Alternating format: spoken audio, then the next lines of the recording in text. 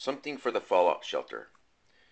My dad had written this article back in 1961, and it's a way to check for radiation. And what you do is you take a newspaper, and at the fold, you cut a one inch strip. You take that strip and hold it in one hand, and with the other hand, you slide your fingers between the two pieces of paper and do it kind of briskly, and it causes static charge in the paper. At this point, the surface of the of both sides of the paper are ionized. Friction causing static electricity, which causes the strips to repel each other. Then to test it, what you do is you put your finger or your hand between the two strips. And both strips should cling to your finger or your hand.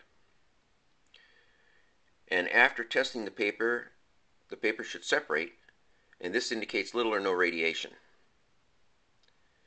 If the strips come together within about a half an hour, radiation is present at a dangerous level.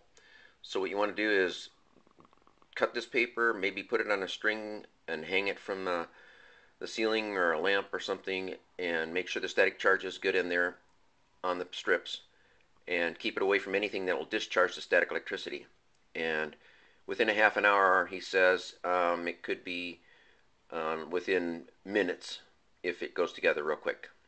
But you'd have to check to make sure that you're not discharging the paper.